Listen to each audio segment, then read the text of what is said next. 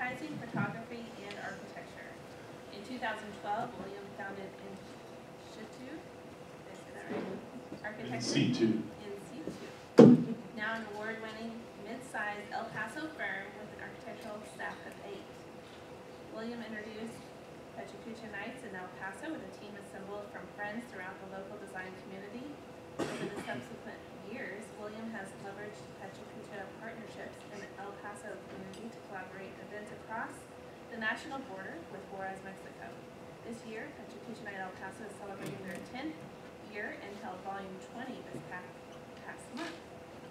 William has presented at PechaKucha Nights in Buffalo, New York, Allen, Germany, and at the Mothership in Tokyo, Japan. Tonight, William presents on moving El Paso forward. Thank you, and greetings from Pawtucket, El Paso. Tonight I'm representing a group of my colleagues uh, from AIA El Paso. We hope to bring a future, any in the crowd tonight? We hope to bring a future Texas Architect Convention to El Paso, and so we'd like to share with you a little bit about what's going on in El Paso. So in El Paso, we prefer to think of the idea of building bridges instead of border walls, connecting with our community across the river. Juarez. This is a view of the International Bridge to Juarez from where my office building is in downtown.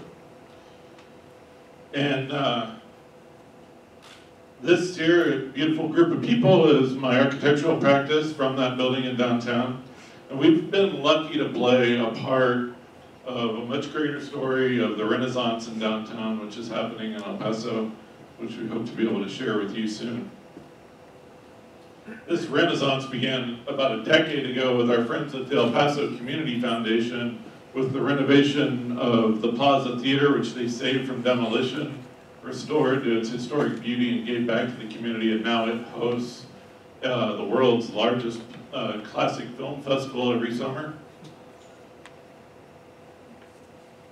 And a few years ago, uh, our office in situ had the opportunity to renovate this building, historic renovation for the city of El Paso, which was part of a larger project to move city offices from our old city hall into new city offices around town into several buildings, and this was one of them. And this was so that we could implode our city hall. You might ask, how can we blow up our city hall? Well, it takes a group of civic-minded leaders to come together to try to work together to bring good things to your city and, and improve the quality of life. And in this case, we needed to clear the site to make room for a new ballpark. And now our AAA minor league baseball team, the Chihuahuas, play evening games throughout the summer and activate our downtown with life in the process. So a couple of years ago, we also finished in downtown another project that was the El Paso, it was led by the Community Foundation of El Paso.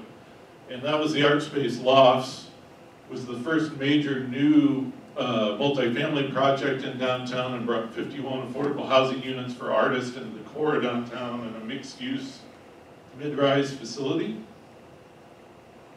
And the Community Foundation is continuing their uh, continuing their legacy of contributing to the quality of life and improving our downtown by bringing a new children's museum built to downtown. They ran an international design competition and recently announced that the Norwegian firm Snøhetta will lead that design. Um, my firm in situ uh, had the opportunity to design this natatorium for the west side of El Paso, part of a larger quality of life project across the city.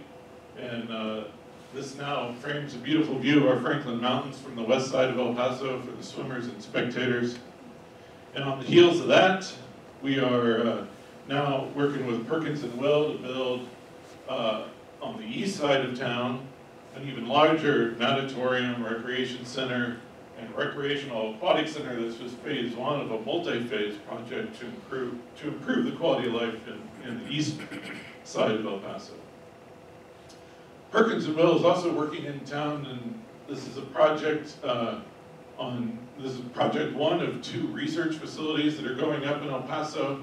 This one, an interdisciplinary research building at the University of Texas at El Paso uh, that will offer uh, the ability for collaborative research space from across the university. Project two is on the Texas Tech University Medical Center campus, a medical science research building, which is going up.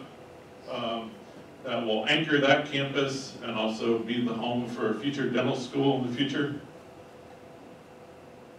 And our city is preparing to host major conventions with the addition and renovations of major hotels in downtown, including the historic Hotel Paso del Norte that will reopen next year as a Marriott Autograph Collection offering 350 guest rooms and 36,000 square feet of meeting rooms across from our convention center. And the restored Plaza Hotel will be opening in 2019 as well, originally completing, completed in 1930 by Conrad Hilton. The hotel will offer 130 rooms and amazing panoramic views from the rooftop bar that occupies the penthouse that was once occupied, that was once lived in by Elizabeth Taylor.